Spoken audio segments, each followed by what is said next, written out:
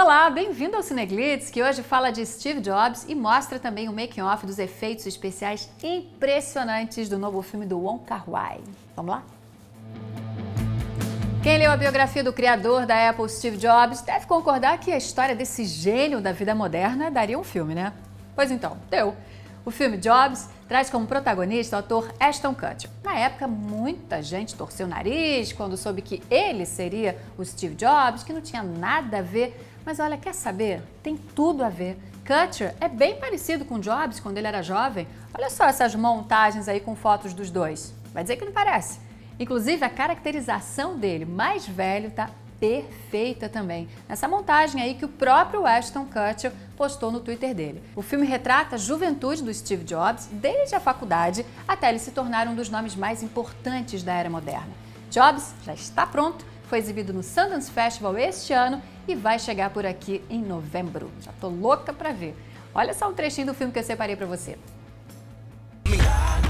We gotta make the small things unforgettable. Typeface isn't a pressing issue. Get out. He's trying to start a war with IBM. Steve's been doing the impossible ever since he was in a garage. I'm trying to build an Apple, and they're taking it away from me? If you keep heading down this path, I will not protect you. It's a blatant ripoff. I'm gonna sue you for every cent! Legal, né? E outro filme que eu tô louca pra ver é The Grandmasters, que é o novo projeto do On Kar-wai. O filme conta a história do mestre de artes marciais, Ip Man, que foi simplesmente o cara que treinou Bruce Lee. As cenas do filme são lindas. Lembra até aquelas produções do Zhang Yimou, sabe? Como Heróis, o Clã das Adáguas Voadoras, com cenas coreografadas, câmera lenta, fotografia deslumbrante. Eu achei sensacional. O filme é cheio de efeitos especiais.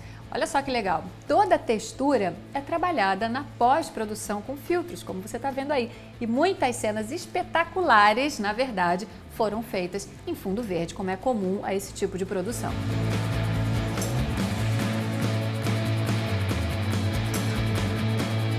Só para você ter uma ideia, a equipe de efeitos especiais contava com 125 profissionais para dar conta de tudo, né? Eu separei aqui um clipe muito bacana para vocês e as imagens já falam por si só.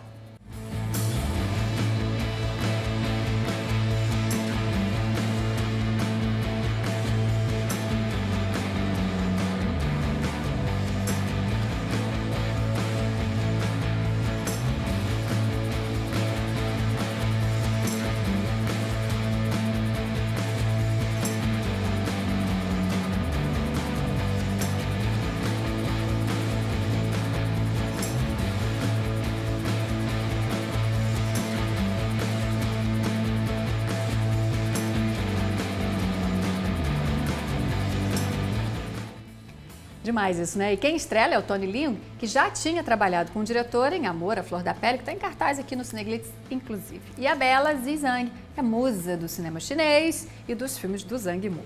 The Grandmasters abriu o Festival de Berlim desse ano e o filme estreia em agosto nos Estados Unidos. Aqui no Brasil, infelizmente, ainda não tem data fechada não, mas vai chegar.